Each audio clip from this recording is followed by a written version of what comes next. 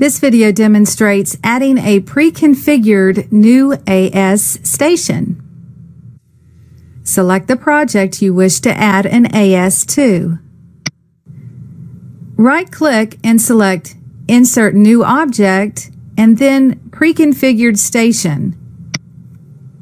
From the wizard that opens, select the desired CPU.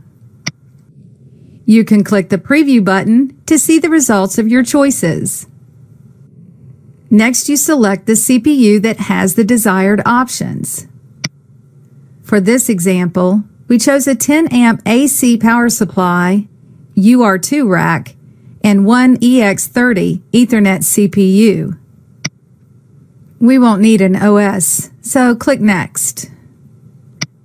Select Finish to generate the new AS. Select your new AS station and name it as required. You can now open the new AS in hardware configuration and finish configuring it.